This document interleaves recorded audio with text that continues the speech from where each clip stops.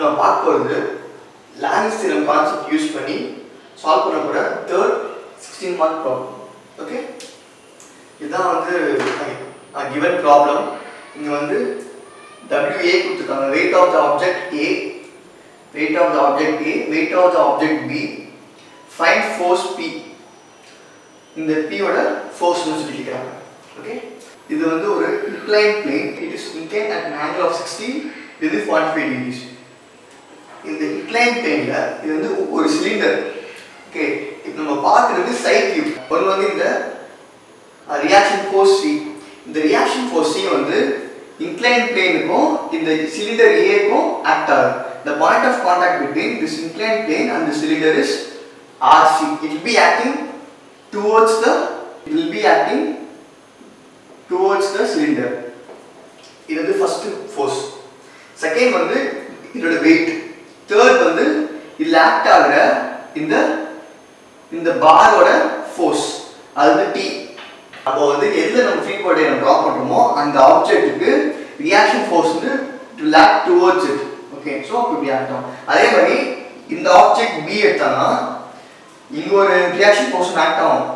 It will act towards it will act towards இது வந்து RT இது வந்து RT it lake act towards the point P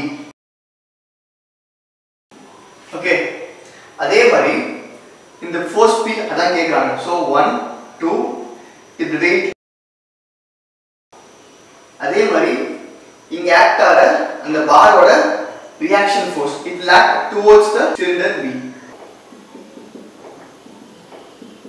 In cylinder A, we can apply Lami's theorem because only three forces are acting. One is weight, this is RC, and next is this uh, reaction force, this is T. Second one, all forces should be acting away from the center point. எல்லா ஃபோர்ஸுமே வந்து இந்த centre பாயிண்ட்ல இருந்து it should, it should be acting away.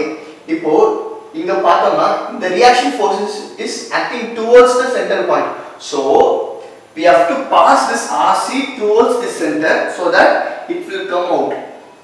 அப்போ இதுதான் வந்து RC. This RC should be acting away from this center point. Okay? Then this T should also be acting away from this center. Okay. One more thing is these two angles are equal. Angle formed here, this is 60. These two angles are equal. If this angle is 15, it should also be 15. Opposite angles are equal. FBD for cylinder A. Okay, this is point A. This is RC. Okay. We know that if this angle is 60, if initially RC is acting in this way, okay, but for us all force should be acting away from the center. So we are making this RC penetrate towards the center point so that RC will be acting away from this point. Okay, so if this is 15, this should also be 15. If this is 15, if this is 15, this is 15, this angle should, should also be 15 because opposite angles are equal. We know the value of this angle, this complete angle. 15, 105 degrees. Same way here. So this is right angle. 90 plus 60 is equal to 150 degrees.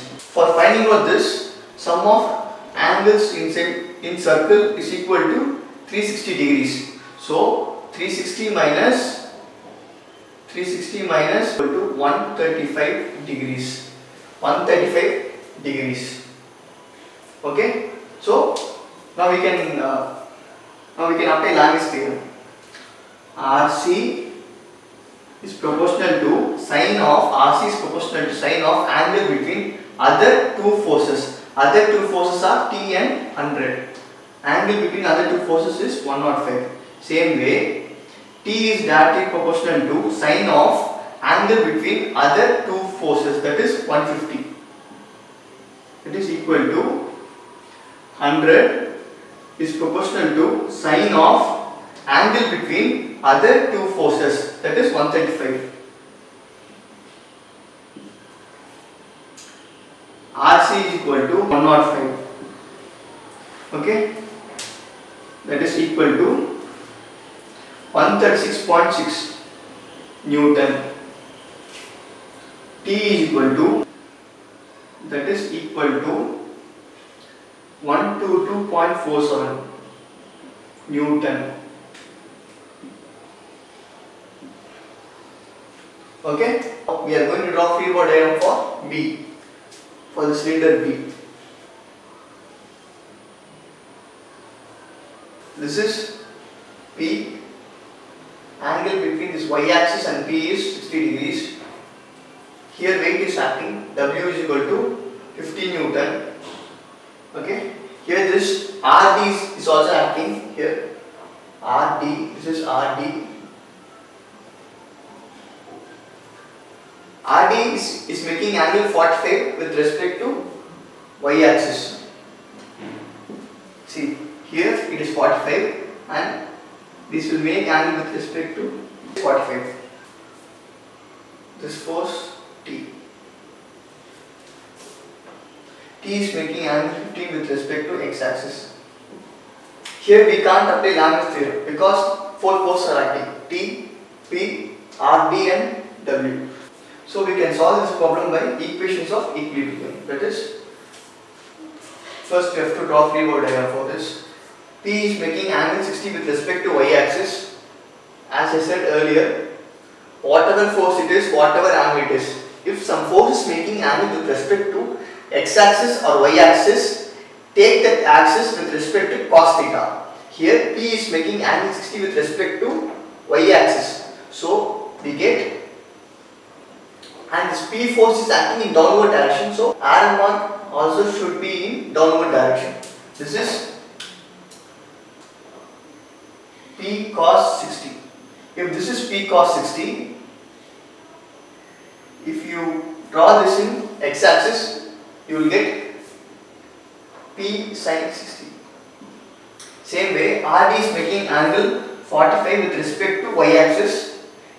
Here it is here the R mark is in upward direction. So RD cos 45. If you draw this with respect to x axis, you get RD sin 45.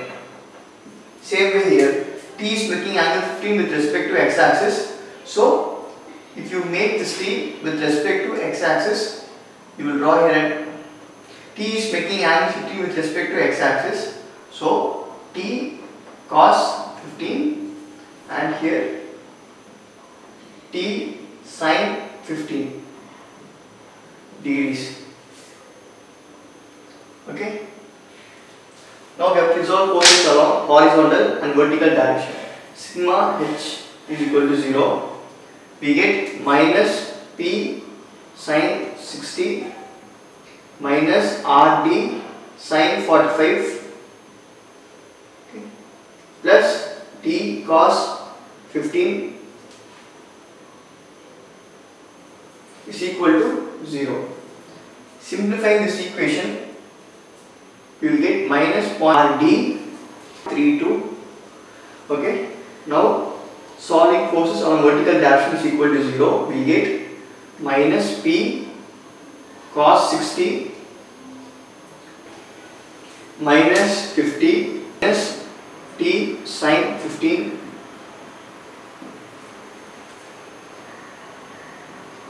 simplifying this equation we will be getting minus point equal to 81.7 take as equation 1 this is equation 2 see we have to substitute the value of t in this two equations. After substituting the value of t in these two equations only we are getting these two final simplified equation right? We can solve this equation by using scientific calculator. After solving this one we are finally getting two equations point minus 0.866p minus 0.707 rd is equal to minus 118.30 so we are getting two equations and two unknown values one value is P and next value is RD.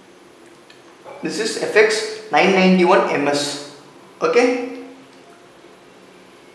Press the mode button three times. One, two, three. You get equation. EQN refers to equation. For solving equations, you have to press 1. It is asking unknowns 2 or 3. Here we have two equations and two unknowns, right? So press number 2. It is asking A1 value, okay? See, this is A1, this is B1, this is C1, this is A2, this is B2, this is C2, okay?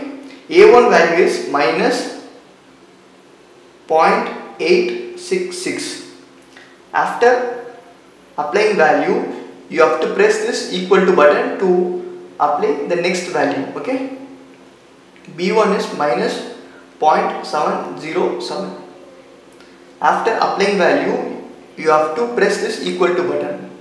Okay. Next, it is asking C1 value. C1 is minus 118.30 minus 118.30 after entering value you have to press this equal to button. Next it is asking a2 value. A2 is minus 0.5 minus 0.5 after applying this value you have to press this equal to button. Now it is asking b2 value. B2 value is 0.707 now it is asking C value. C value is 81.69. Okay. Now we got X value as 26.80. X value refers to P. Right? X value refers to P. So P is equal to 26.80. You have to press this equal to button once again to get value of RD. Y is equal to 134.49 that is equal to RD value. RD is equal to 134.49 right okay so at final we are getting P is equal to 26.8 Newton and RD value as 134.49 Newton.